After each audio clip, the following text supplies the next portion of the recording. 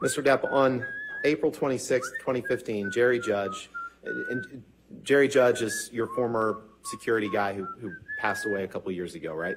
That's correct. Um, and he writes you and says, Hi, boss. Just wanted to say if you and Amber need anything, just let me know. I will be there in 20 minutes. Johnny, it is lovely to see how you and Amber are so happy. The other day, watching the two of you sitting on the bench by the sea was fantastic. The two of you need happiness, and it is really great to see that. Love to you and Amber. XOXO, Jerry. Did I read that right? You did. And beneath that, you texted him back and you said, Thank you, my dear Jerry. Very, very kind, mate. We have been perfect. All I had to do was send the monster away and lock him up. We've been happier than ever. All caps. Love you, brother. JD. Did I read that right? You did, sir.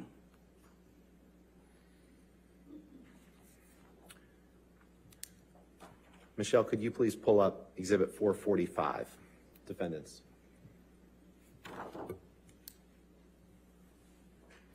And in the text that we just saw, when you were used the word monster, that Miss Heard wasn't on that text message, was she?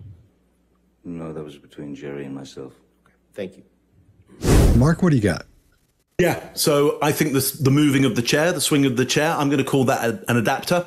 I am going to say that it's repetitive, so I'm going to say it's self-soothing. He's self-soothing during that. And in fact, during that kind of interlude between one email and the other email or text and the other text, you're going to see him nodding his head like this. That's a self-soother as well. It's almost like he's got a song playing in his head at the same time. So if you fancy something to do, you know, rip that out, uh, put a tune with it, uh, put a link to it, and, and, you know, let us know what song you think is maybe going through Johnny's head at that point. But there's a self soother going on there. I don't quite know why. Uh, Chase, what do you think? I think it's probably Metallica, but I'm not sure the exact song. Uh, so when he says the monster, I'm going to go full blown Bowden on you guys. Oh, nice. Thank Here you. we go. The definition of monster is a creature af- affected with a birth defect, malformed animal. And it's the French derivative of this is demonstration, which means to indicate or show it uh, to people, which is a lot more evidence here of him using this dissociative language technique or this dissociative language tendency, I should say. There is no monster in there. And even people with multiple personality disorder or dissociative identity disorder, there's one human.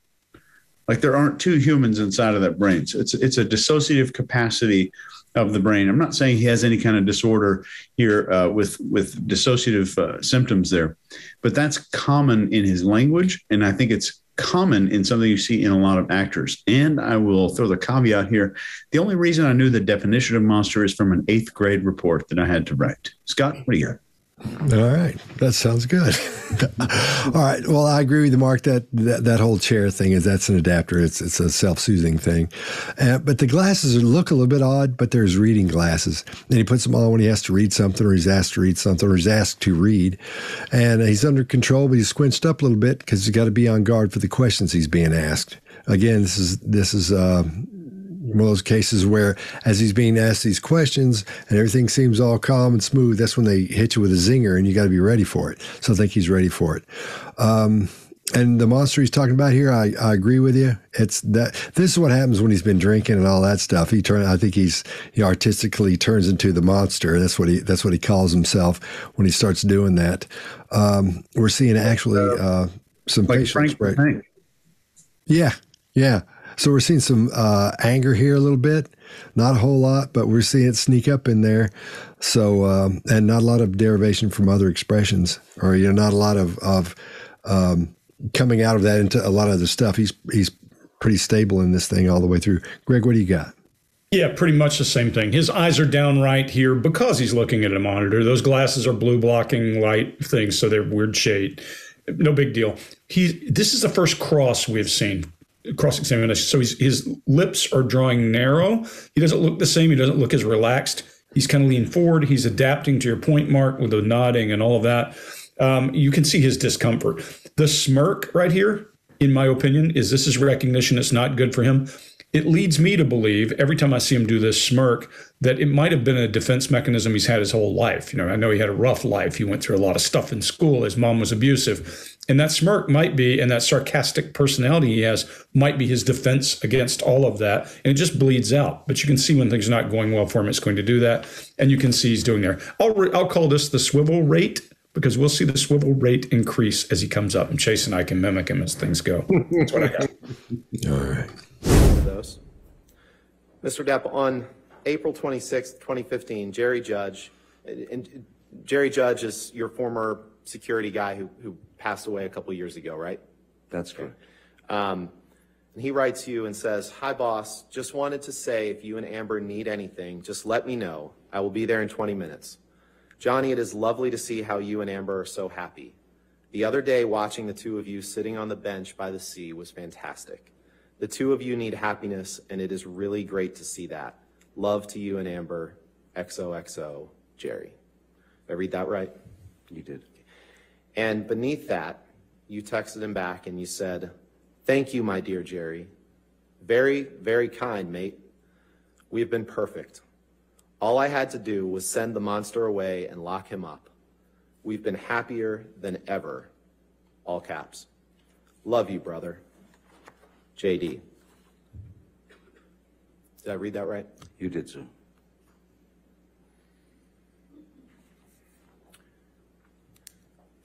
Michelle, could you please pull up Exhibit 445, defendants?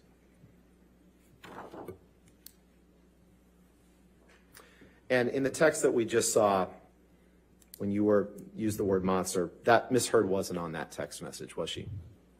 No, that was between Jerry and myself. Thank you.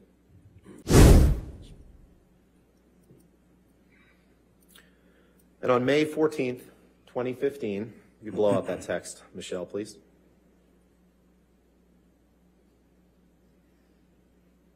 You texted Mr. Deuters, need to discuss the news helicopters hovering outside the house this morning. I'm ready to shoot. But don't worry, the monster is not involved. Correct? That's, I see that, yes. And Miss Heard wasn't on that text, was she? No.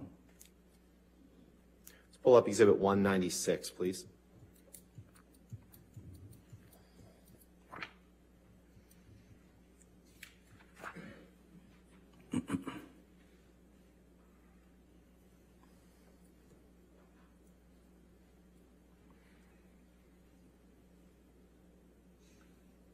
This is on page two, please.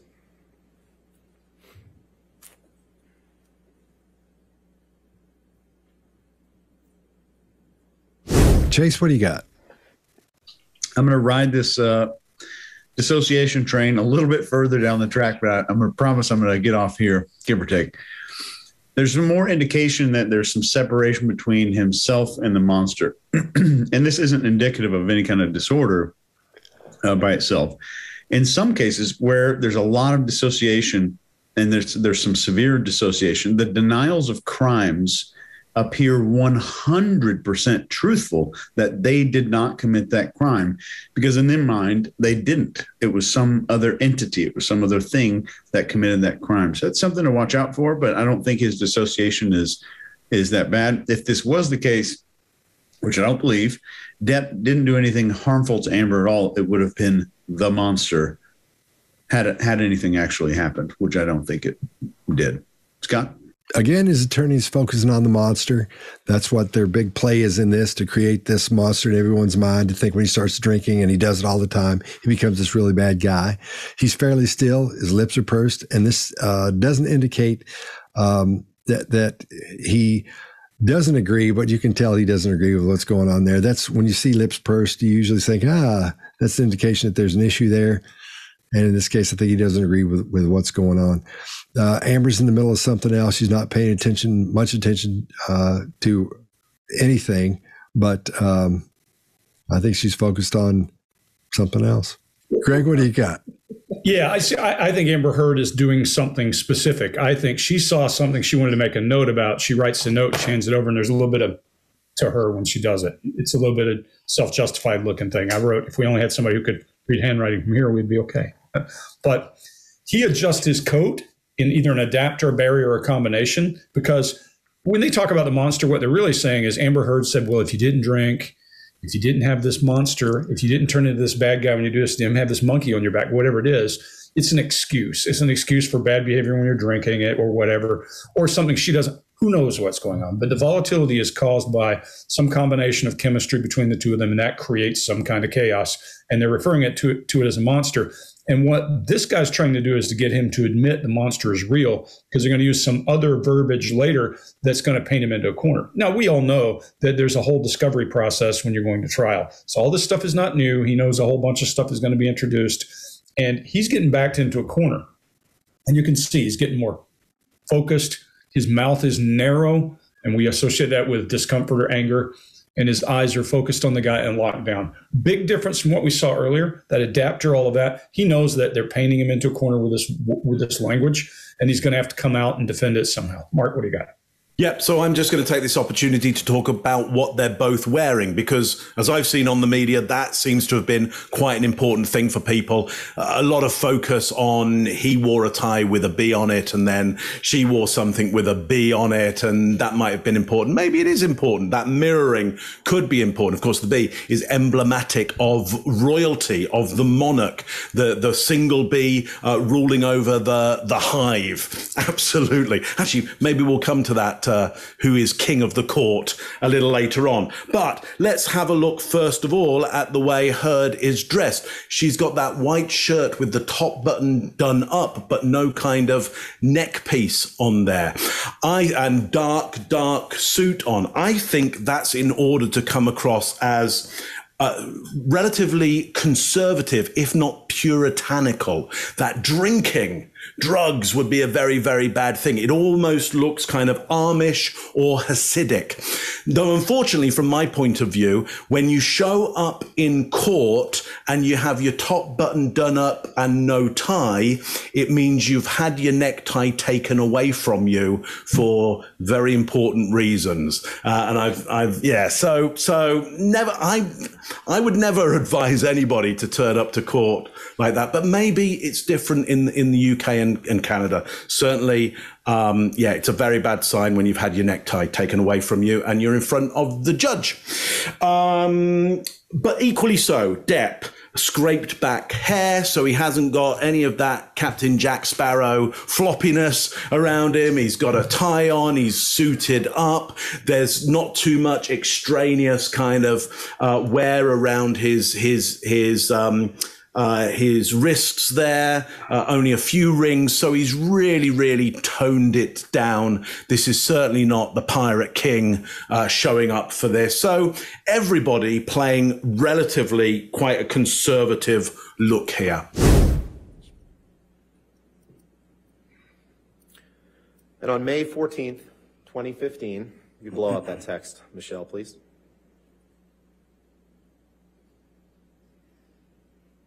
You texted Mr. Deuters, need to discuss the news helicopters hovering outside the house this morning.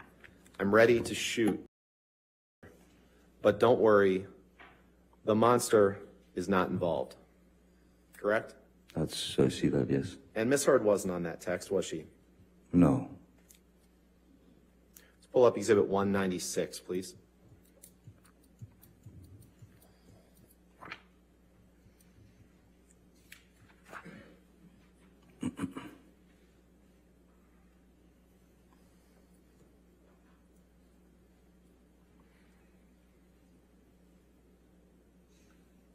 This is on page two, please.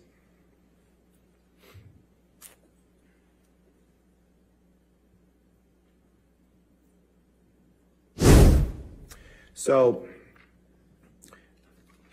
we talked about the cocaine and the ecstasy. Let's talk about the the the, the alter, argument altercation that you and Miss Heard had in Australia. Um, you you you testified that you were sitting on a bar stool, right? In in Australia, this is before. You, you, so you're fast forwarding to the, the end of the, ar- ar- uh, of that argument? Yeah, We've, we've heard, we've heard your account of the argument, and the jury will hear Ms. Heard's account of the argument. What I want to ask you is some specific questions about you, you're sitting on a bar stool, you've had three or four, I think you said three shots of vodka. I did two or three shots of Um, vodka, yes. yeah. Uh, and you're resting with your hands kind of hanging over the edge, like that, right? Well, after the first bottle whizzed past my head and shattered, as I said, I walked around the bar, grabbed the larger, there was another bottle of vodka, the only one there. The larger bottle, brought it back and poured another shot and did it. And, right, and, and that, that was a, like a, what we call a handle of vodka, is that right? Well, y- yeah, it's one of the larger bottles with the, it's got a handle on it, yes. And it was, it was full at the time, other than the shot that you poured? No, it wasn't, it wasn't the Wasn't full bottle. no. Okay, um, and, and at, at some point, before you, you claim you sustained an injury to your finger, you were, I believe you demonstrated to the jury yesterday, but you were resting with your three fingers, um, your middle three fingers kind of hanging over the edge. Is that, is that fair? Is that right? Y- Yes, I just had a Okay. bottle thrown at me, so I was, when she grabbed the second bottle. Right, I'm just asking where your fingers were, sir, at that point. Your fingers were, your palm was facing down and your three middle fingers were hanging over the edge of the bar, correct? Basically, that's correct. Um, All right, Greg, what do you got? Yeah, again, we're seeing because he's in cross, he's leaned in more. His mouth is narrow, his focus is hard, his eyes are making good hard contact in a way he didn't when he was in direct because he now has a threat. And we have a threat. We're going to take in more data. I can't see his pupils, but just about guarantee his pupils are dilated. We can see a little respiration up for a change in him, which we haven't seen to date. His his head goes down to the right, and then um, his forehead's up at hold on. Are you fast forwarding? You can see he's trying to say, hold on, there's more to this than you're giving me. And then he starts to nod on the intake as he's picking up what the guy's asking, makes hard eye contact once again. His blink rate goes really fast as he gets threat recognition. He drops his chin back to doing what he usually does. And he does that quick nod as he makes hard eye contact with someone. And Mark, I think you brought it up earlier. I think who he's making hard eye- eye contact with is the jury. He's playing to the audience. Again, doesn't mean he's lying, means he knows where he should be focusing. Then he illustrates with his forehead up, goes back into some concentration around all the questions they're asking. And then he has one brow rise again, meaning something's emphatic to him as he's talking about having the bottle thrown at him. He swivels, his brow drops and furrows. You can see the stress is rising. This is giving him a reason. His speech is even faster, if you notice.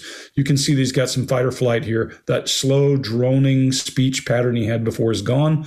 So now you can tell that he's in cross instead of direct. Uh, Chase, what do you got? Yeah, I don't have much here.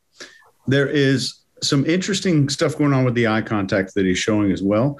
The second step, and one thing that maybe a lot of us do, I definitely teach people, is we're showing less respect and helping the jury to understand the level of respect that this person deserves through the eyes of, of a witness. And this is a great example of just a witness telling the truth, how they should be telling the truth, how we would teach them or help them to tell the truth on the stand. He's unrushed, uh, comfortable, ensuring that the memory is told as he recalls it, not how he is instructed to recall it by the attorney. Mark, what do you got? Yeah, uh, so I agree, Greg. Playing the audience with this idea of the three shots. Yeah, I had three three shots. I think, uh, as you were saying before, Greg, there's an edge of sarcasm to that, and and yeah, he is. I think trying to indicate to the jury that that this is slightly puritanical of um, the uh, the uh, the lawyer here to to to be to think it's extreme to have two or three shots. It's not a big thing. Well, it's really interesting for me. He says, um, uh, and and I did it. Not I I drank it. I did it. So this idea of drinking is a very definite action. It's a big statement. Something that he does. It's a big statement. And then we get the story of Heard taking control of that bottle and then delivering it maybe accidentally, who knows how good her aim is, but in the story, delivering it to his drinking hand and cutting off his drinking hand. So th- there seems to be a narrative here, a story here of him control, of, of somebody needing to be in control of the drinking hand and maybe in control of the monster. Is this whole battle around who controls that monster and who can summon it and who can calm it down or or say that it can't appear. Because my guess is for the for the addict for the alcoholic uh, there is a certain comfort in the monster always being able to come along. Though there's pain involved there is some kind of control there going on. Anyway uh, this is just speculation i just put it forward as that's the kind of thing my brain gets interested in at this point uh, scott what do you got on this one All right. Well, he's on high alert as this attorney's trying to get him all worked up, and he knows that's what's going on. So he plays it. I think he plays it really well. And we see anger in his facial expression. It's you got flared nostrils, the shallow breathing, and the pursed lips again. Um, his shoulders are in, inward just a little bit in protection mode, and his cadence is a little fast. His answers are short compared to the way they've been before. The the pauses are there, but they're not not quite as trying to draw you in as hard, I think, at this. And his gaze is focused on threat, which is the attorney. So that's what I got. So we talked about the cocaine and the ecstasy. Let's talk about the the the, the alter, argument altercation that you and Miss Heard had in Australia. Um, you you you testified that you were sitting on a bar stool, right? In in Australia, this is before. You, you, so you're fast forwarding to the, the end of the, ar- ar- uh, of that argument? Yeah, we've, we've heard, we've heard your account of the argument, and the jury will hear Ms. Heard's account of the argument. What I want to ask you is some specific questions about you, you're sitting on a bar stool, you've had three or four, I think you said three shots of vodka. I did two or three shots of Um, okay. vodka, yes. yeah. Uh, and you're resting with your hands kind of hanging over the edge, like that, right? Well, after the first bottle whizzed past my head and shattered, as I said, I walked around the bar, grabbed the larger, there was another bottle of vodka, the only one there. The larger bottle, brought it back and poured another shot and did it. And, right, and, and that, that was a, like a, what we call a handle of vodka, is that right? Well, y- yeah, it's one of the larger bottles with the, it's got a handle on it, yes. And it was, it was full at the time, other than the shot that you poured? No, it wasn't, it wasn't the Wasn't full full. bottle. Okay. Um, and, and at, at some point, before you, you claim you sustained an injury to your finger, you were, I believe you demonstrated to the jury yesterday, but you were resting with your three fingers, um, your middle three fingers kind of hanging over the edge. Is that, is that fair? Is that right? Y- Yes, I just had a Okay. bottle thrown at me, so I was, when she grabbed the second bottle. Right. I'm just asking where your fingers were, sir.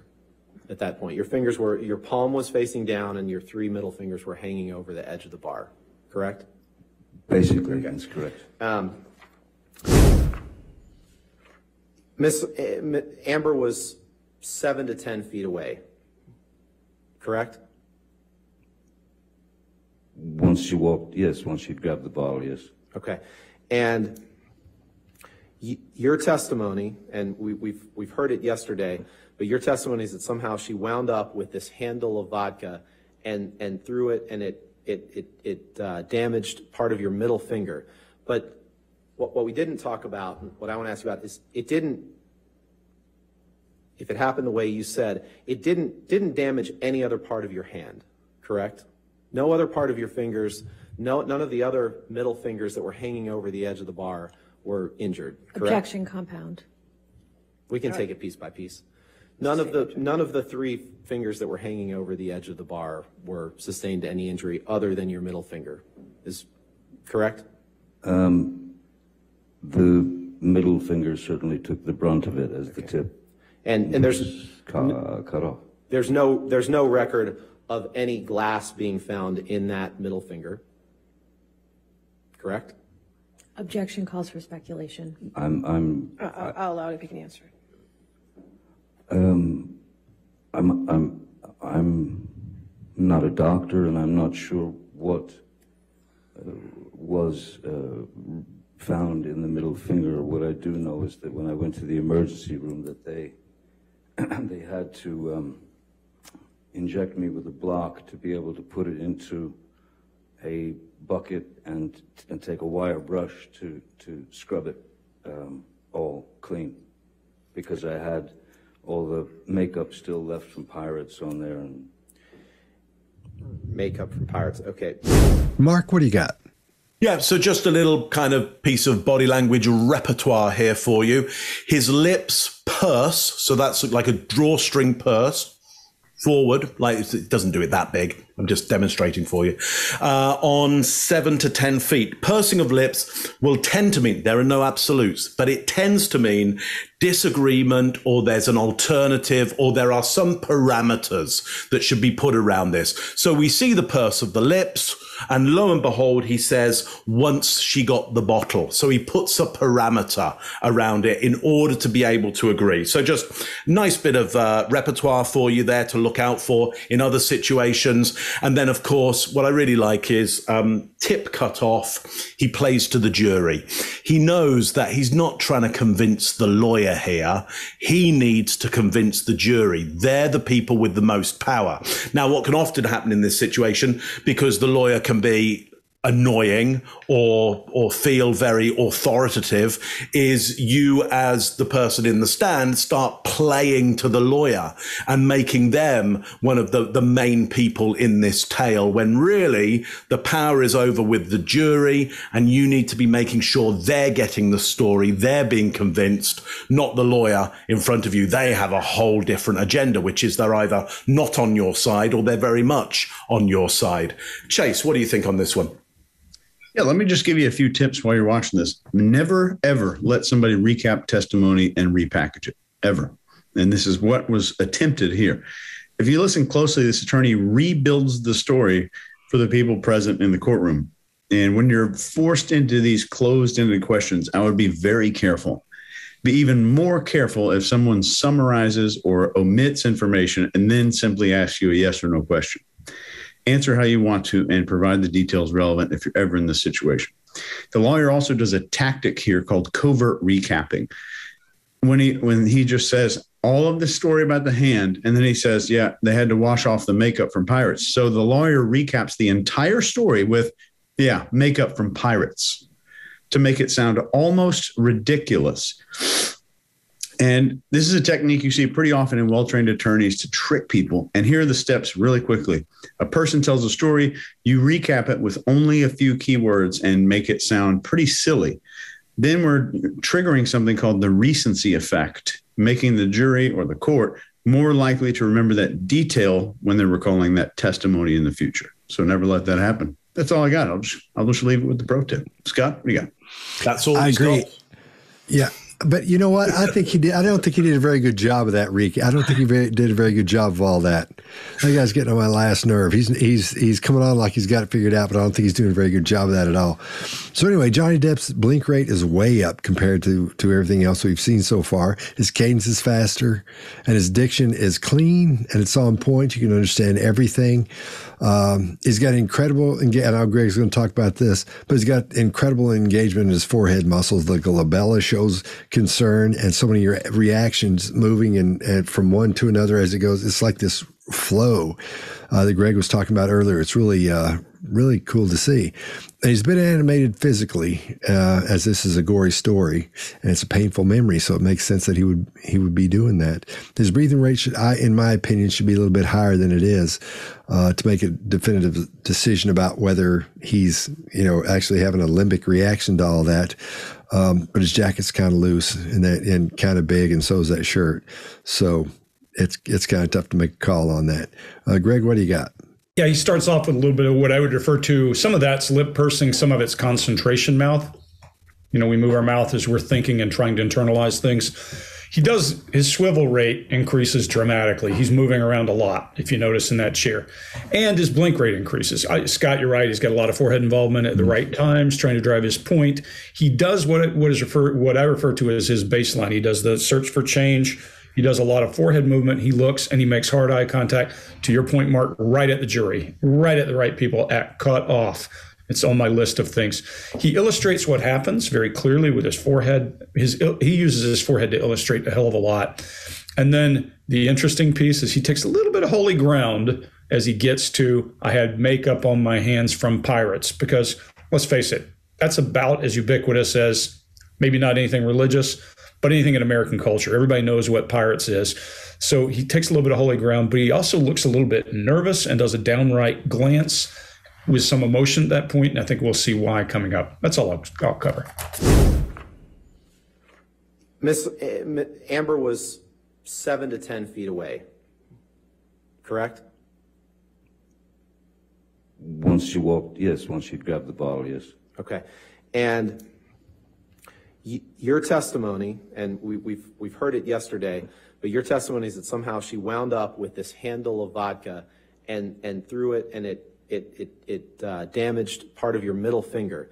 But what, what we didn't talk about, and what I want to ask you about is it didn't, if it happened the way you said, it didn't, didn't damage any other part of your hand, correct? No other part of your fingers, no, none of the other middle fingers that were hanging over the edge of the bar were injured, correct? Objection compound. We can take it piece by piece. None of the, none of the three fingers that were hanging over the edge of the bar were sustained any injury other than your middle finger. Is correct? Um, the middle finger certainly took the brunt of it as the tip And, and there's, cut, cut off. there's no, there's no record of any glass being found in that middle finger. Correct? Objection calls for speculation. I'm, I'm, I- I'll I'll allow it if you can answer it. Um, I'm, I'm, I'm not a doctor, and I'm not sure what uh, was uh, found in the middle finger. What I do know is that when I went to the emergency room, that they they had to um, inject me with a block to be able to put it into a bucket and and take a wire brush to to scrub it um, all clean because I had all the makeup still left from pirates on there and Makeup from pirates. Okay, a second. But neither of, none of the other fingers on your hand were sustained any injury that you're aware of, correct? uh, no there were there were nothing else was severed no. Okay.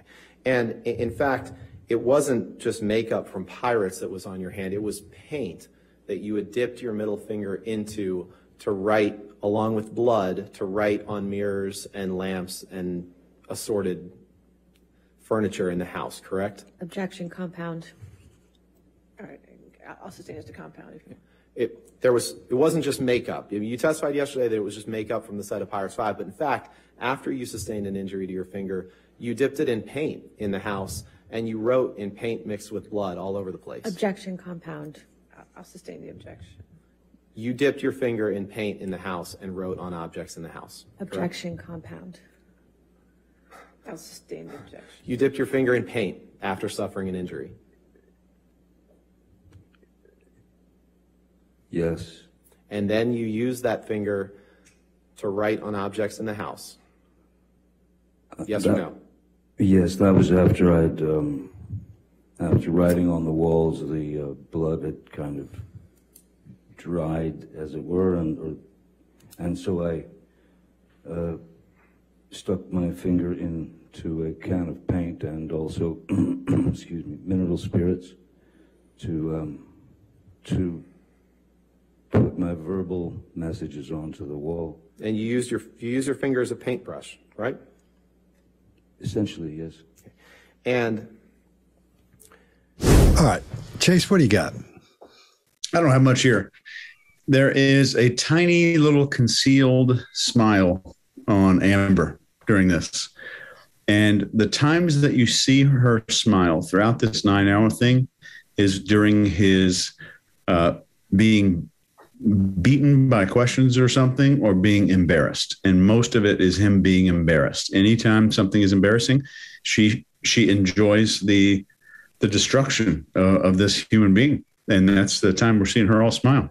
I'll leave. Uh, I'll leave it up to you guys. Mark, what do you got?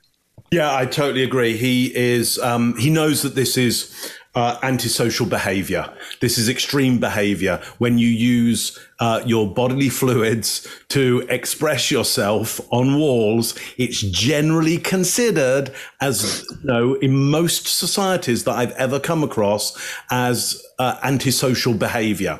He knows this. This is beyond the usual, or cer- certainly part of the chaos and the madness that in part he really uh, wants to inhabit because it has a, a, a Byronic romance to it. At the same time, it's totally antisocial. And she loves, I think, because she, she tries to hang her head in shame as well that this has occurred you know in in she's seen this happen it's awful that this has happened in front of her and then we see that little smile uh, easy to detect there. Um, so there is uh, disdain and disgust that johnny shows around this action that he's done. I mean just to show you that this is not normal behavior uh, last summer i cut off the top of my thumb or part didn't cut it off completely but I gouged a massive massive um, uh, gash in it with a chisel. And uh, and there was blood everywhere. I mean uh, you'll love this scott. Yeah i know you love these kinds of kinds of stories and um, and i was super upset with myself. I was ve- i was lividly annoyed with myself because it is a rookie mistake. You never chisel towards your your hands. I mean it's just it's basic it's fundamental. I was so annoyed with myself. But at no point did i walk into my home and write messages to myself on the wall. What an idiot I was. And then even if I had, if I had run out of blood, I wouldn't have then got some paint and started to, you know, do it some more. When I tell you that story, you realize it's bizarre and outlandish, and that's exactly what he's done. It's extreme. Uh, Greg, what are your Greg? What are your thoughts on this? Yes. So this may be one of my favorites of the whole thing. He starts off by looking, and- Mark, I live on a farm. My hands always have nicks and cuts. I guess I should start painting messages on the barn to keep people away, right? They'll, they'll know not not to come to my place. Yeah. But he starts off looking down left, down right, like where's this going? And then he stammers. We all we always talk about cadence and stammering as mattering. In this case, it doesn't because it's his baseline. He goes no, no, and then he makes hard eye contact with his head shaking. That's what he does. Go watch every interview with every talk show, and you'll see that. But watch him do a stiffened neck transition and a head roll when it gets to that paint thing. Where did you stick your finger in paint? And he goes, uh, and his mouth goes and he's going to say something. And here's why you need an attorney when an interrogator gets you, because you hear that attorney step in and go, objection, objection, objection. They're going to do that at every turn with an interrogation. So if you get arrested, they're your rescuer, and you hear her rescuing him left and right. But what happens then is he swivels pretty hard. She rescues him. His respiration, his blink rate, and his swivel rate are all through the roof. And his face has shrunk. Now, if you go look at him in the beginning where his face looks wider, his face is now very narrow as all of his his mouth is drawn and tight and he's pursing his lips and you can see the stress in him. And then you see you dipped your finger in paint. That your cut tip off your finger and he inhales drops down to emotion, has a quick bolt of his eyes to the threat. And I see Andrew in him as he tries to explain the unexplainable, as he kind of does some weird head roll. And he is trying to figure out how do I figure out a non crazy way to explain this? And it's just a bunch of chaff and redirect and garbage running down the way. There's no way he is going to explain this in a way that makes him look good. And he should just stop. I would have just said, look, no, you know, I, I did something crazy. I, I can't tell you why. I told you I had a nervous breakdown. Instead, he tries to rationalize something that's not rational. And if he did anything so far in this that makes him look really bad, it's there. It, when he says dried as it were, is when he looks like dried as it were, like a Andrew kind of move. And then I see her. I have one note, Chase, a smug C. That little smile is a C. I told you he's crazy. I think she wins in that spot. That's all I got. All right. Um, in this, uh, yeah, it's okay. In this section, his his uh, blink rate is as high as it's been so far in all these videos, and obviously that indicates stress, and especially for this situation where you're being cross-examined with with somebody like that, that's going to happen to you. And he still takes time to think before he's answering, but keep in mind that doesn't mean that he's being deceptive. It goes back to what we've been talking about before. He's thinking about the structure of his answers. He wants everything to be good, everything to be perfect, and sound the way he wants it to wants it to sound. Some people are going to think he's pausing because he's being deceptive. I'm not seeing anything deceptive in here at all, not even a little bit. Um, Amber looks like she's reading text or something, and again, that's not an emotional downward gaze. I don't think. I think she's she's just texting, or maybe she's not texting because you can't do that in court. She's probably writing something or reading something there. So that's what it looks like to me. All right, we good? Yeah. Second, but neither of, none of the other fingers on your hand were sustained any injury that you're aware of, correct? Uh, no, there were there were nothing else was severed. No. Okay. And in fact, it wasn't just makeup from pirates that was on your hand, it was paint that you had dipped your middle finger into to write, along with blood, to write on mirrors and lamps and assorted furniture in the house, correct? Objection, compound. All right, I'll- I'll sustain as to compound. if you- It, there was, it wasn't just makeup. You testified yesterday that it was just makeup from the set of Pirates 5, but in fact, after you sustained an injury to your finger, you dipped it in paint in the house and you wrote in paint mixed with blood all over the place. Objection, compound. I'll- sustain the objection. You dipped your finger in paint in the house and wrote on objects in the house. correct? Objection, compound. I'll sustain the objection. You dipped your finger in paint after suffering an injury. Yes. And then you use that finger to write on objects in the house. Yes or that- no? Yes, that was after I'd um, after writing on the walls, the uh, blood had kind of dried, as it were, and or, and so I uh, stuck my finger into a can of paint and also, excuse me, mineral spirits to um, to put my verbal messages onto the wall. And you used your, you used your finger as a paintbrush, right? Essentially, yes. And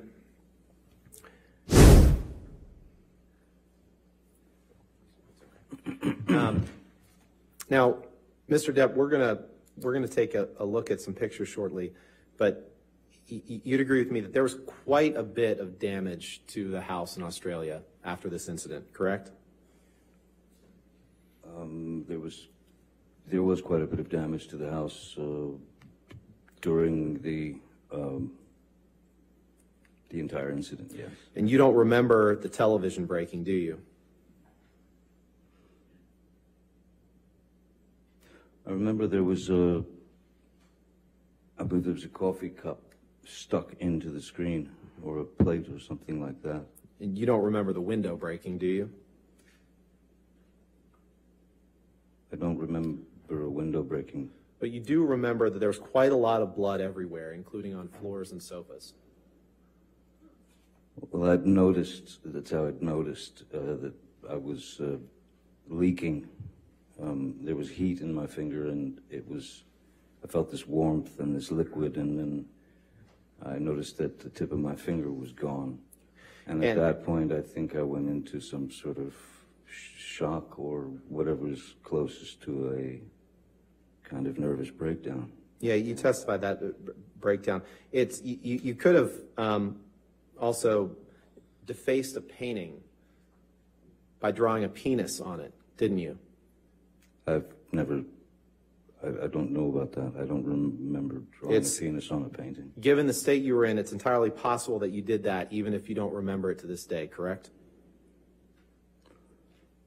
Drawing a penis on a painting was not the first thing on my mind. Let's I look. had messages to uh, write, reminders that were for Miss Heard. All right, Chase, what do you got? I'm just going to go through a couple of these leading questions. You don't remember the TV breaking, do you? You don't remember the window breaking. You do remember blood everywhere. Then, very, very, I don't know. I don't want to say cleverly because I don't think uh, this is a, a very good job at a, at a depot. But he says he changed, Depp says nervous breakdown, and he covert recaps it to the word breakdown so that that's what it's not a nervous breakdown because that implies there's some psychology there there the it's just a breakdown that's an unstable person so i think that's maybe deliberate uh, and then this You could have also uh, defaced a painting. Is it possible you don't remember anything to this day? These leading questions can make an attorney can do good for Depp because it makes the attorney appear to be hostile to the jury, to the courtroom. And it's really working that way. Like you just watch this video and you hate this guy. He's horrible. But the only time, again, uh, we're seeing Amber smiling is during the demise or the embarrassment of Depp. Uh, and if you look at all of these smiling about uh, injury that that Johnny Depp has been doing so far, and look at all of the stuff that he's doing. Every time he gets angry, he's focusing the anger on himself. Everything. So, like uh, I was talking to somebody today, and they're like, "No, it's not always on himself. He destroyed the kitchen cabinets and stuff." And I'm like, "Those were his kitchen cabinets." That's self. He's focused on self, his own property. So it's kind of an inward focused destruction and anger. He won't even go see his own movies. Uh, so I think that this speaks to his view of just not having much of a much of a, a buy-in uh, for himself. Greg, what do you think? Yeah, I'm going to be short on this one, but he's back to the narrative. He's trying to tell the story. When he's asked a couple of questions, he avoids the questions. He actually chaffs and redirects a bit. He just kind of spills out words that have nothing to do with the question to avoid the answer. Um, his blink rate is up through the roof. He's rationalizing, trying to say, look, I had this nervous breakdown. That's a rational enough reason. You could easily say, I don't remember because I was so out of it as a result of shock. Shock alone, if you've ever had like neurogenic shock or that kind of thing, you know that you don't necessarily remember. I drilled through my thumb one time. I never forget it. I was like, I don't feel so good, and blood's going everywhere. And it was the first time I've ever been in a place where my army training helped, and I put my feet up and didn't pass out. It was one of those kinds of things, but it was pretty horrible. It sucked. So he could have said, "Hey, you know, look, I was, I was not thinking," but he didn't. He kind of stammers. He does something. His cadence stops. It doesn't stammer. No, no, no, no. It stops boom, boom, boom, as he navigates his way through it. So I think he probably has some shadowy memory of all the chaos that was going on, and that would probably be appropriate. Now, if we assume that he has taken no drugs and he's had three shots of vodka, this is a hell of a tear for three shots of vodka to go through and do all this. So, Scott, that might answer your question from earlier, you know. Oh, yeah. so, Mark, what do you got? Big. Yeah, well, lots, lots of great stuff here. I just love the idea that a TV with a with a teacup coming out of it isn't broken. That's, I mean, that is just straight, you know, straight out of Hunter S. Thompson. That's a real fear and loathing idea. I mean, that's fantastic. Um, I don't remember a window breaking, and we see her do an eye block. She shades her eyes. I don't know why, but I'd be interested in that. I'd be interested in what happened there. What does she think happened there? I don't know why she eye blocks on that. Um, nervous breakdown, he directs to the jury. So he knows that that story of nervous breakdown is, is one I think that could play well with the jury. And I think, yeah, the, the, the, the um, the lawyer here is a real pain, but that's the lawyer's job really to get the rise out of him and see if they he can get him aggressive and and obnoxious and and this, this monster might come out in the middle of the middle of this whole piece of theatre.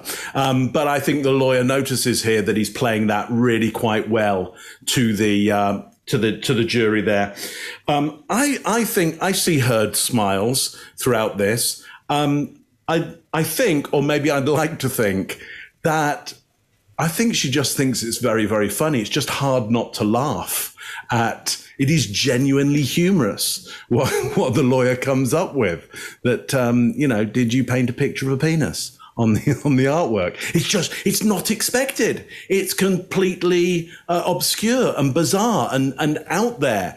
Um, and and I wonder whether she truly finds that amusing. I don't know whether she does, but I'd like to think so. I certainly see an eyebrow raise or some eyebrows there of, of confusion and then amusement at one point as well. Um, yeah, it is, it is quite nicely starting to descend into the kind of chaos that I know Johnny Depp seeks.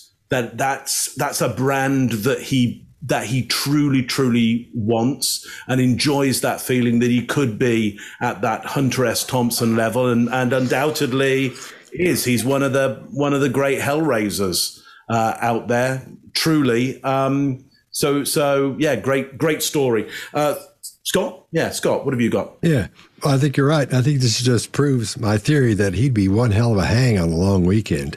Yeah, at his place. long weekend. That'd be, that'd be the place to be, apparently, if you if you're trying to get stuff off your mind. So, since you guys ca- covered everything about him, I'll I'll focus on Amber.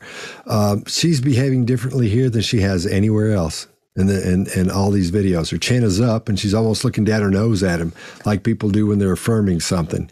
And um, as this, I think she's doing this to let him know that she knows what what he's saying is true, what the attorney's saying is true, and she's almost, almost looks like a hype man back there. Every time he says something, she's like, "Yeah." She's not that quite that uh, demonstrative with it, but that's the feeling I got. She was she was just saying, "Yeah, he's right. You know, he's right. All this is true."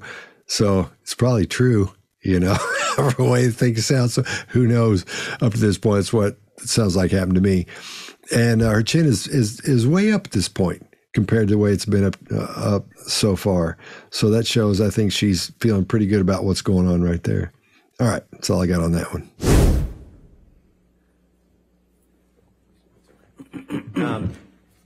Now, Mr. Depp, we're gonna we're gonna take a, a look at some pictures shortly, but y- y- you'd agree with me that there was quite a bit of damage to the house in Australia after this incident, correct? Um, There was there was quite a bit of damage to the house uh, during the um, the entire incident. Yes, And you don't remember the television breaking, do you? I remember there was a I believe there was a coffee cup stuck into the screen or a plate or something like that. And you don't remember the window breaking, do you? I don't remember a window breaking. But you do remember that there was quite a lot of blood everywhere, including on floors and sofas. Well, I'd noticed, that's how I'd noticed uh, that I was uh, leaking. Um, there was heat in my finger, and it was, I felt this warmth and this liquid, and then I noticed that the tip of my finger was gone. And at And- that point, I think I went into some sort of shock or whatever is closest to a kind of nervous breakdown. Yeah, you testified that uh, breakdown. It's you, you you could have um, also defaced a painting by drawing a penis on it, didn't you? I've never, I, I don't know about that. I don't remember drawing It's- a penis on a painting. Given the state you were in, it's entirely possible that you did that, even if you don't remember it to this day. Correct? Drawing a penis on a painting was not the first thing on my mind.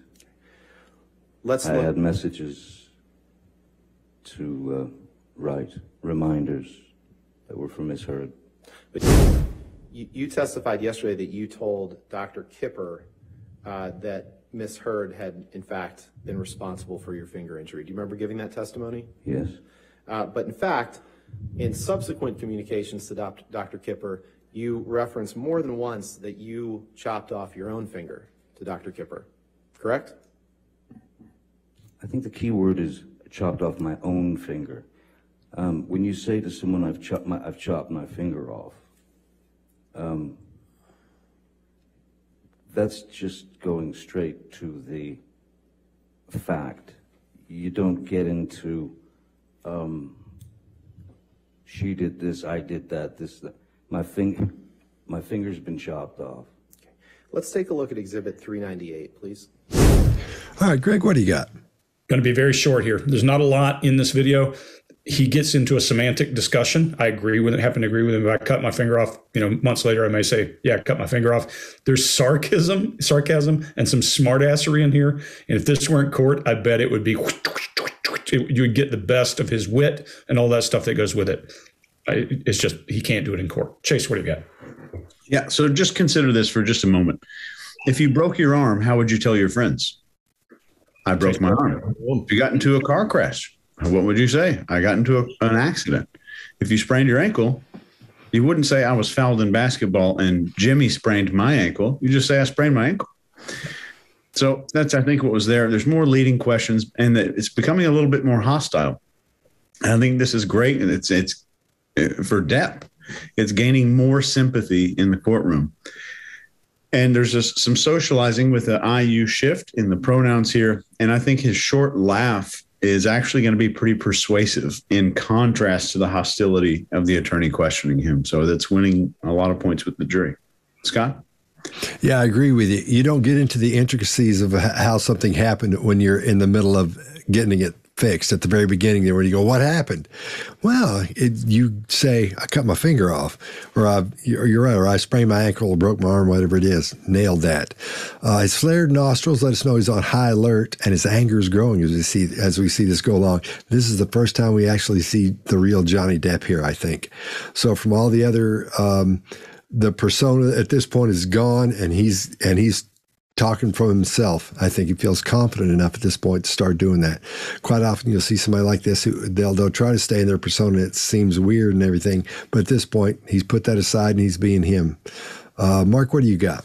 Yeah, I, I'd agree. He's under a lot more pressure now, so we're seeing more of him. We see that from the little adapter on the mic there. He, I don't think he's done that before. Or certainly, if he's done it before, it's because again, it's ramping up with the stress. There's no reason for that adapter. He knows where the mic is. He knows the strength of his voice. So that's stress, that's anxiety happening there. Um, mirroring back with that lawyer, he's now playing with the lawyer using the word fact when the lawyer uses the word fact and in fact. So he's now mirroring that lawyer, and there's a bit of competition around that. I think the laughter there is again that laughter of absurdity. And again, I think that's the true Johnny Depp going, how do I know what to say when my finger's been cut off? You, you, you say whatever you say at the time, and then he can't believe that he's talking about what one says when one's finger is cut off. Who, who legislates for that? Who arranges beforehand? By the way, when your finger gets cut off, here's the way you should talk about it. No parent ever gives you that talk. No caregiver gives you the instructions of how to talk about it. So you just do what you do in the cir- in the bizarre circumstance. And I think he's laughing at this is a truly absurd, bizarre circumstance. It's an unusual circumstance and an unusual that I'm having to deconstruct it in front of people right now. But that's that's court. You, you testified yesterday that you told Dr. Kipper uh, that Miss Heard had, in fact, been responsible for your finger injury. Do you remember giving that testimony? Yes. Uh, but in fact, in subsequent communications to Dr. Kipper, you referenced more than once that you chopped off your own finger to Dr. Kipper, correct? I think the key word is chopped off my own finger. Um, when you say to someone, "I've chopped my I've chopped my finger off," um, that's just going straight to the fact. You don't get into um, she did this, I did that, this that. my finger my finger's been chopped off. Okay.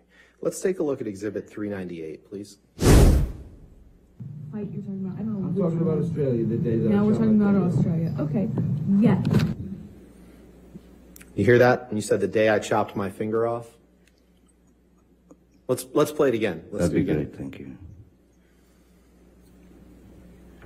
Like you're talking about, I don't know. I'm which talking about one. Australia, the day that I Now we're talking about finger. Australia. Okay.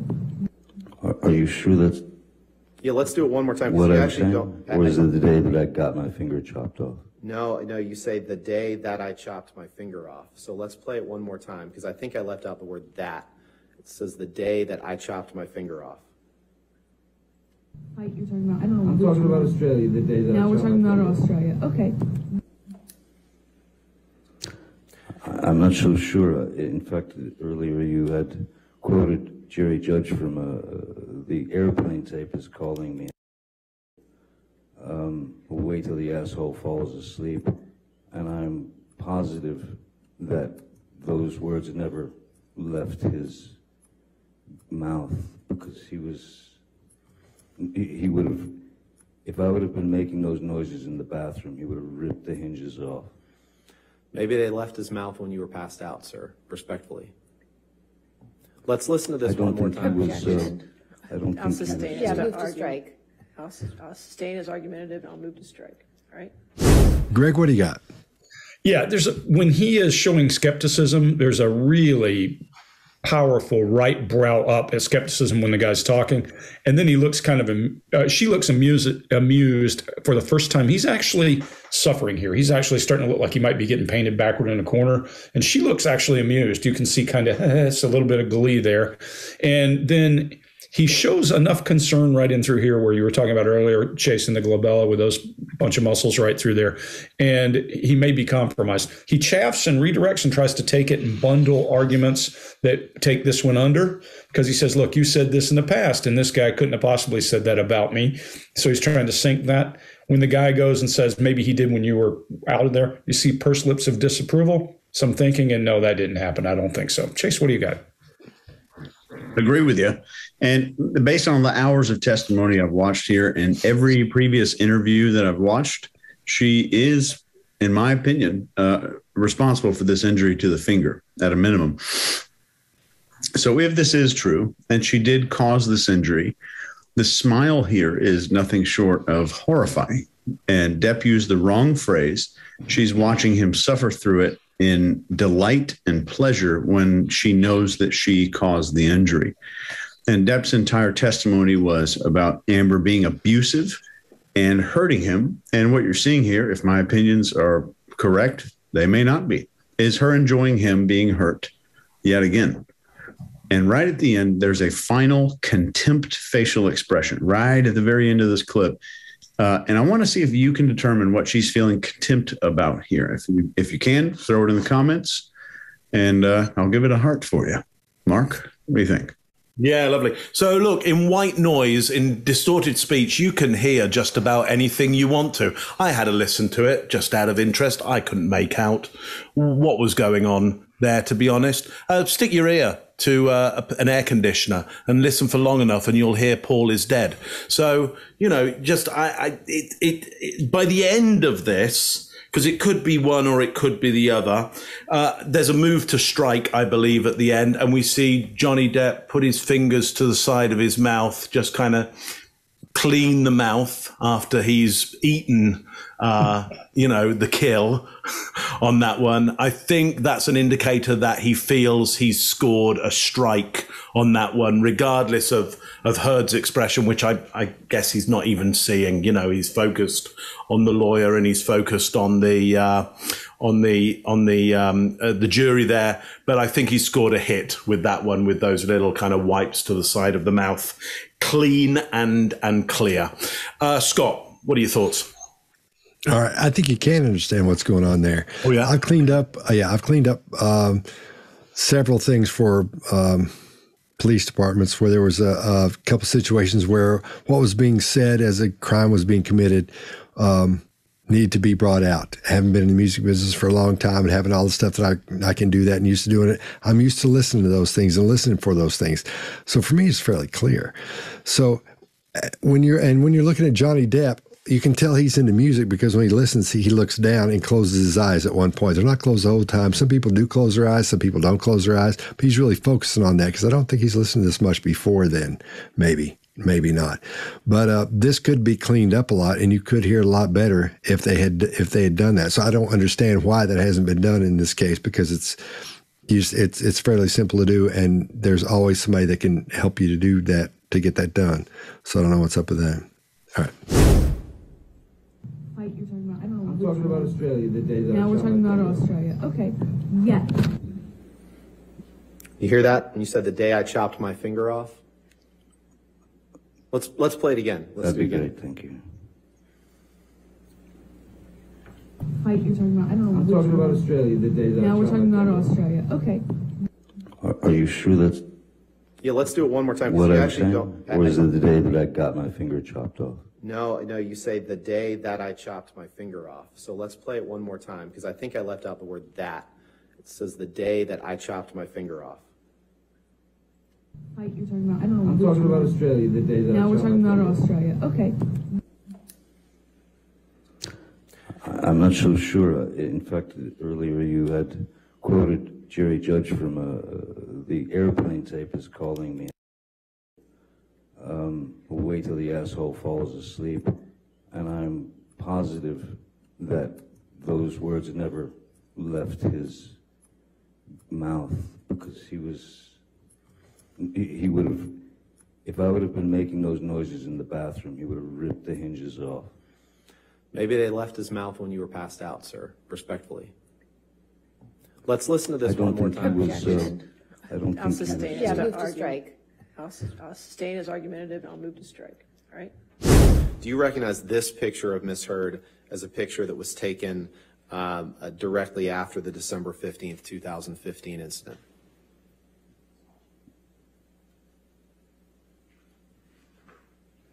I don't, I don't know when it was, I don't know when the photograph was taken. I don't know much about it. Okay. I was out of the You can picture. take that down. In any event, you, you, you don't disagree that, um, that there was a, a headbutt that evening, that, I know, I know that there's disagreement about the cause of it, but you, you would agree that, um, that you headbutted Miss Heard that evening, correct? No, I would vehemently disagree with that, sir. There was a lot of.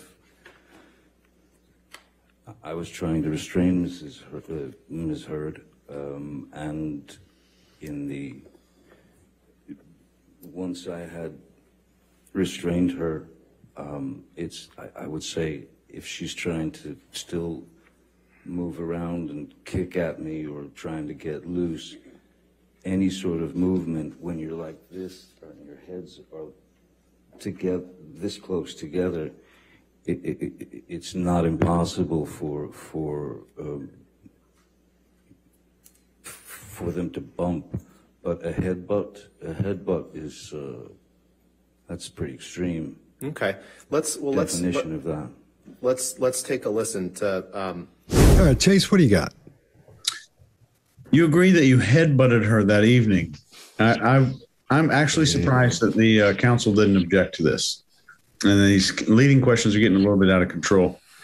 And this is one of the first things, first indicators that you see where people are in a mutually abusive relationship, where, there, where the abuse is going both ways. It may not be physical on both sides, but there's still some level of abuse going back and forth between two people. It's a kind of a toxic relationship. It's not just one toxic human being. But you can see Amber straighten a bit here. And right at this moment, her chin comes up. Right at this moment, you'll see her chin come up at this moment of, of victory, this challenge moment, or just making a point. I think, uh, Mark, you were saying that earlier. Just marking that point and saying, Scott, I think you said it. See? Or was that, was that Greg? This morning. Me, it was me. S- Smirky. That's all I got here. Uh, Scott, what do you got? All right. Well, here his cadence slows down and his uh, volume and tone are a little bit lower as well.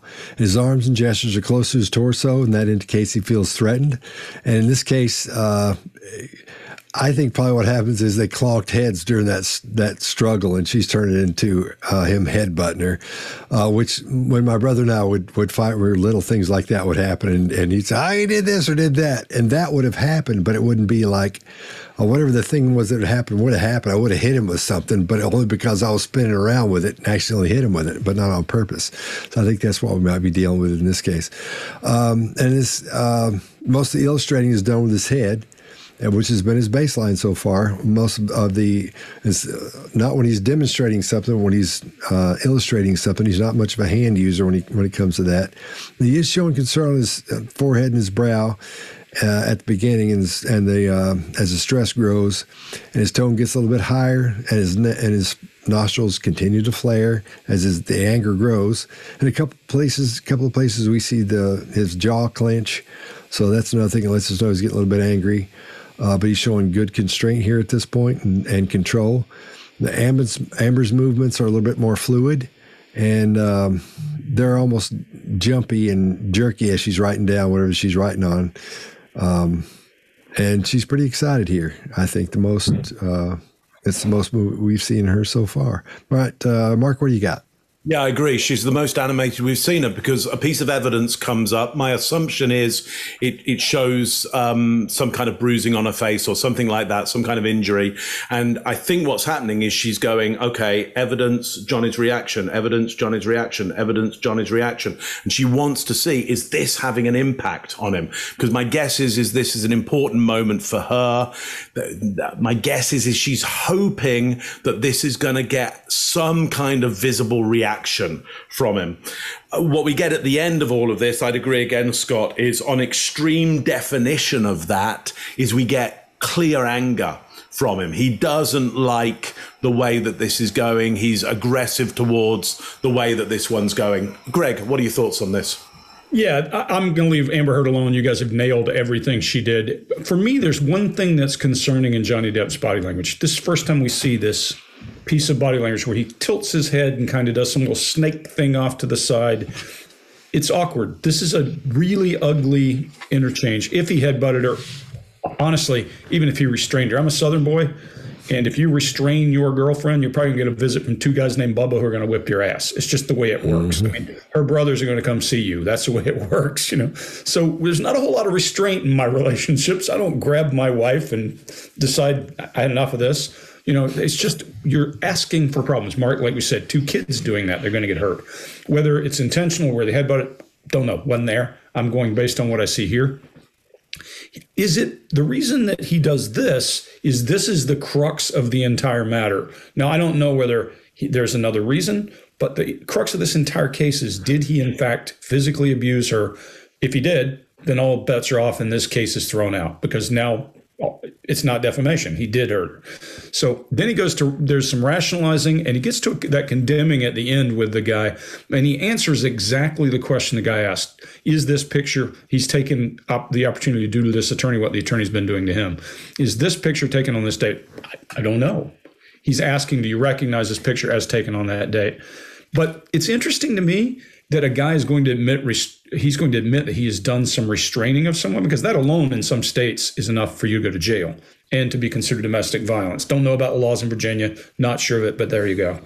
And then he, he goes to passive voice for their heads bumping, which makes you think, well, there probably is a bunch of this struggling and tussling, and the next thing you know, their heads butt and something happens. So here we are. And then the thing that makes me the, the most annoyed in the entire thing is the guy from South Park as an attorney. Okay.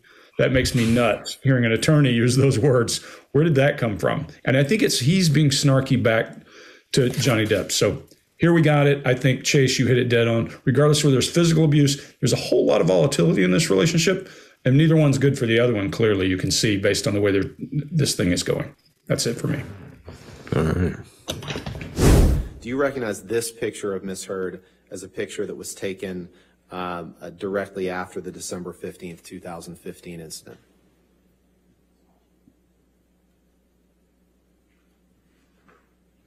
I don't, I don't know when it was, I don't know when the photograph was taken. I don't know much about it. Okay. I was out of the picture. You can take that down.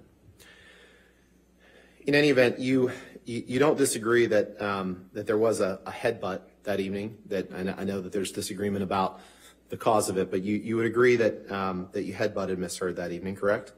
No, I would vehemently disagree with that, sir. There was a lot of. I was trying to restrain Mrs. Heard, uh, Ms. Heard, um, and in the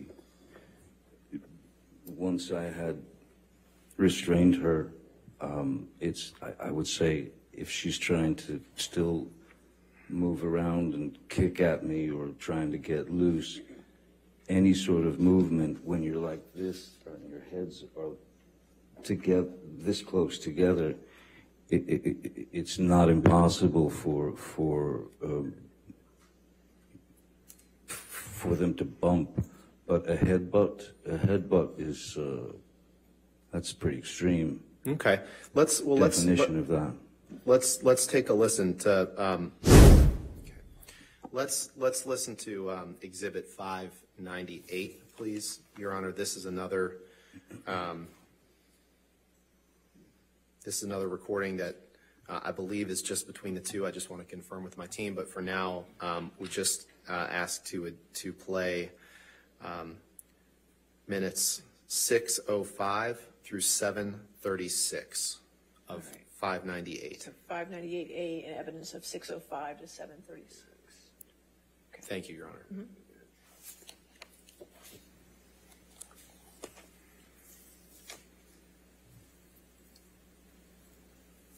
is loudest is most responsible. My Just 16-year-old because- daughter heard just- you just- saying but I'm, that she that's would rather because not I'm hear. louder. By the way, because I'm louder. Okay, what By the for? way, my family, my friends, you're everyone screaming. around me had, saw all the bruises and broken, uh, broken blood vessel under my eye, the bruises on my head, the missing chunks of hair, the split lip, the black eye, the swollen nose, all that. Because you're stronger. It does not mean, it does not mean because they heard me that I'm somehow more responsible.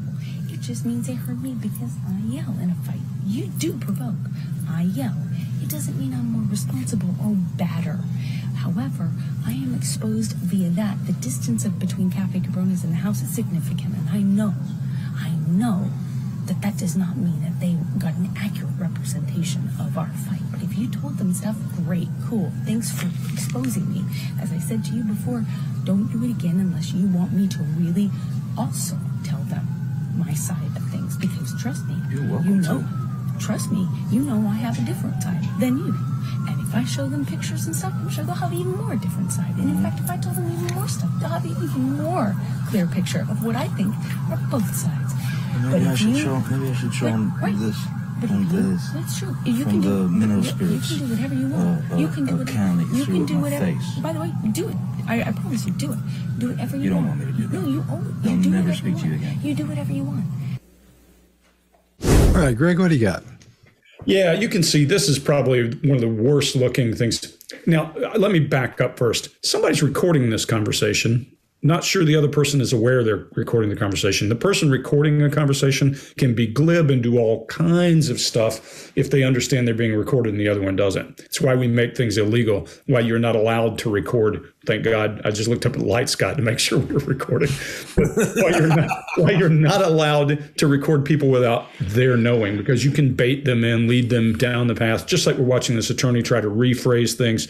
So anytime I see that one person knows and the other one doesn't, hmm, I'm a little suspicious then. Uh, you see his blink rate and lip compression as he's trying to control some emotion. His mouth is open, his eyes are rolling, and then he's thinking, what's next? Puts his hand to his throat. That can mean he's feeling threatened, he's feeling endangered, can mean nothing. But in this case, we've not seen it ever. So something feels threatening to him, is my guess. And then he brings up the mineral spirits about her throwing them in his face. That probably ties back to where he put his finger in. Who knows? Unless it's just a regular practice to have mineral spirits sitting around and you know in their relationship. Don't know where that goes.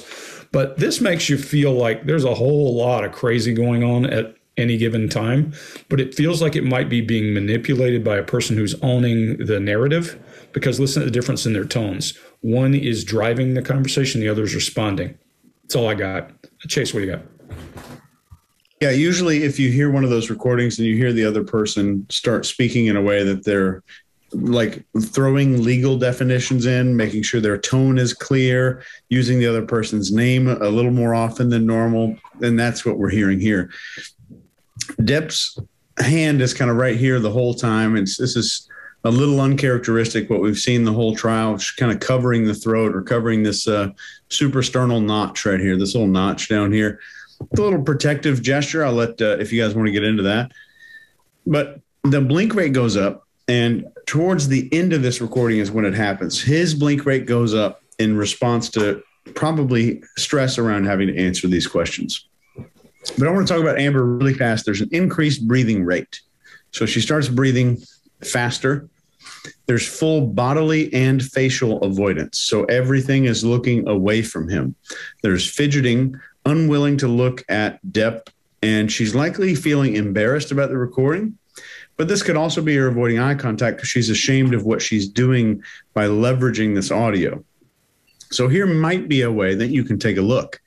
If she makes solid eye and body contact and stares at him during every moment where she's got him and she's going to do something that she knows is going to be damaging, then this means that this recording was used for something that it probably wasn't originally meant in the audio. Scott, what do you think? I, he's a musician, so he listens a lot. And he listens to what how people say things, how they phrase things, especially coming from his introverted background. I can't believe he didn't say to her, "What are you? Why are you talking like this? What are you wearing a wire? You know what the you know what the what the hell's going on here?" that kind of surprised me when I heard that because it seemed so obvious at that point. And before, when she when she had done this, she was doing the same thing. You nailed it. She's talking about she's bringing up specific points and using phrases and things and, and building this picture. You know, what about this? It's really really odd and he's as we're looking at him, he is concerned. He's looking at it, and, uh, or not looking at that, but he's he's uh, showing concern in his brow. He's looking down, listening. He's looking up and listening, and she's not having any of it. She's not looking. You you nailed that, Chase. She's not looking at him at all because I think you're right. I think she's embarrassed about that, and she knows that's wrong, and she shouldn't have done that. And she's trying to. Um, to avoid the eye contact because that'd be really tough to do at this point. Mark, what do you got? Yeah, so I think he knows uh, coming up is a recording that could uh, look bad for him. We see the adapter on the microphone, first of all. Uh, you can just see uh, around the corner of the computer screen there, you'll see two whites of his fingers there, and you'll see them gently stroking uh, his sleeve there. So he's got a self soother going on. And on top of that, Chase, absolutely the suprasternal notch there. His hand goes up. You know, sometimes you might think some people, they get hot under the collar. It isn't that. Usually, if it's that, they'll just be a vent. They'll do a venting action and then they'll move away or they'll maybe vent somewhere else as well. This is definitely protection there. He feels anxious and vulnerable around this particular, um, uh, conversation recording here. Now, what's interesting for me is that neither of them deny the results that they're talking about. Just what you know, what may have been the results of what maybe have been violence. Nobody denies that at all, and neither admit to how it came about. So, for example, in the case of the the the um, the spirits, uh, which is used in, in oil painting, by the way, Greg. So that's why the can of spirits is around. It's a paint thinner for that, for the art of, you know, drawing, you know, the usual kind of drawing penises, you know, over lampshades and stuff. You know, you know the kind of art. Um, so, so it's there for that. And there is the indication there that a, a can was thrown and it hit Johnny's head. She doesn't deny that at all, as much as he doesn't deny that uh, that there may have been violence that results in the action, but nobody talks about it. So no, nobody nobody denies the results, and nobody admits as to how those results came about. Kind of looks bad for everybody. Uh, kind of just the best you can make out of it is is these two should not be together, and thankfully they they aren't together anymore. It can't go very well ever for for these two, but they're in court. It's equally as bad place to be, terrible place to be. Let's, let's listen to um, Exhibit 598, please, Your Honor. This is another, um, this is another recording that uh, I believe is just between the two. I just want to confirm with my team, but for now, um, we just uh, asked to, to play um, minutes 605 through 736 of 598. So 598A and evidence of 605 to 736. Thank you, Your Honor. Mm-hmm.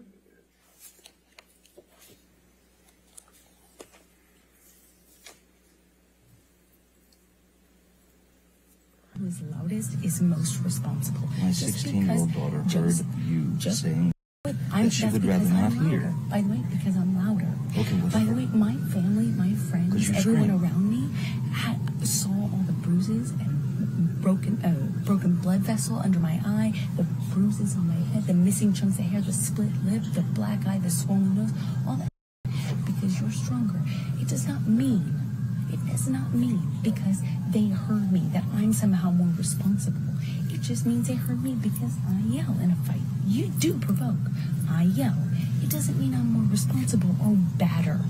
However, I am exposed via that. The distance of between Cafe Cabronas and the house is significant, and I know, I know that that does not mean that they got an accurate representation of our fight. But if you told them stuff, great, cool. Thanks for exposing me. As I said to you before, don't do it again unless you want me to really also tell them my side of things. Because trust me, you know, to. trust me, you know I have a different side than you. I show them pictures and stuff, I'm sure they'll have even more different side. And in fact, if I tell them even more stuff, they'll have an even more clear picture of what I think are both sides. Maybe I should you- show. Maybe I should show Wait, him wait. this. But you, this that's true. You from can the do mineral you, spirits, You can do whatever you want. uh, you can do uh, whatever you you can do whatever. face. By the way, do it. I, I promise you, do it. Do whatever you, You don't want. want me to do that. No, you, oh, you I'll do never speak to you again. You do whatever you want. All right, well, let's throw around the room and uh, sort of sum up in 30 seconds or less what we think about what we've seen. Mark, what do you got? Well, yes, it is chaos and madness there, and that is the court of the king, isn't it? Uh, so somebody who wields power and can give out apartments and and have people around that will, you know, when when people should be calling the police, and uh, you know, will just not do nothing, but but certainly keep that relationship together in some ways is always going to breed more chaos uh, and more drama. So I think to an extent, um, Depp is getting the rock and roll that he's after. And at the same time, to Greg, to your earlier points, and I think we made it about our, our last Heard adventure, is this is what happens when you fly close to the sun. Um, Heard is described as radiant. She is described as one of the most beautiful people that you can come across. And if you are that sun king and you want to get closer and closer to the sun, it's you you might get burnt. It might be even more chaotic than you thought. Anyway, this is all going to go on for much, much longer. So I'm sure we'll talk about this more. Chase, what do you think? Yeah, I think this is just a story of the narcissist and the introvert. And that's really what we're seeing here. And as a pro tip, if like 40 people from five different circles of friends who don't communicate with each other all warn you not to date a certain person, consider it. Just consider it. and this case has went from uh, defamation to defecation. She even took a giant number two on his bed. And that's the kind of person that is. And maybe that illustrates the kind of relationship that we're seeing. Now, I want to introduce a new behavioral term that I just invented this morning while I was watching these uh, videos. But a lot of what we're seeing here with Amber Heard is a behavioral tourniquet. Everything is just shut off as much as can be. And there's just tiny little things that are able to leak out, but not enough for critical mass to happen. So that's what a tourniquet does. But here's one rule of thumb you can always look at, especially in court or depositions. Who in this scenario is controlling their behavior more? And take a look at that. And that should give you a, good idea of where to start at a minimum. Greg? Yeah, so I will say this. I think the most dangerous thing you can possibly do is to be cloistered or sequestered with people. Uh, You've all been through it in the past two years with this crazy virus we've been through. And if you have a very small cloistered group, you're going to find enemies, friends, cohorts, all the same things you would do in a large group. But you may only have one or two people involved. And the richer and more famous you become, and when you become an icon that cannot walk the street, you have to be even more, more guarded because you're going to have that. The four of us could easily go into some kind of decay if we had to look only for all of our enemies, friends, and everything else within this group. You need to remember that in your daily life. So these people have been, and they may be firing, or they may be gasoline and matches to start with, but they get closer and closer and closer and more locked down. And then, you know, there's in every relationship, there's entitlement and there's expectation. If an expectation is not met and you think it's an entitlement and you ramp up and things go there over a birthday party or whatever, and then that person doesn't give you the feedback you expect, things escalate and escalate and escalate. And then there's certain levels of behavior that are acceptable within any given culture. Restraint probably is a bad idea and probably could be considered violence in some way. Headbutting is certainly violence if it's done intentionally. So we'll find out what the courts think, and that's the verdict. What we're seeing is what we can read and what we believe. What we think is there's a hell of a lot of volatility in here. And, you know, when I watch this, it is my opinion that yes, she took the tip of his finger, if you're asking that question. Scott, what do you got? Yeah, I think this is a great example. Uh, like Chase was saying a couple minutes ago, um, of the narciss- narcissist versus the introvert and how they progress through a situation like this, how they act and, and what happens. And especially when they butt heads, which is going to happen quite often, I think. So you always hear opposites attract and all that. Well, in a lot of cases, that's true, you know, but in this case, I think it's too opposite. Um, the personalities are, are too far apart to be able to function together well. And I didn't see much in in the form of deception on him at all, if any. So I mean, I saw some laying back, some trying not to give out information so it would sound worse to the attorney asking the questions. But I think this, I think he's being fairly honest, uh, really honest. So I, I, I believe him, and I believe you're right, Greg. I believe that whole bit about the finger. I believe he's he's being honest about that. I don't think he cut his own finger off. That's ridiculous, especially being a musician. You wouldn't want to do. It's one of the last things you want to do, especially being a guitar player. Even though it was his right hand, not his left hand, which is where you um, use for chords and stuff. All right, fellas, I think this was a good one, and we'll see you next time. See you.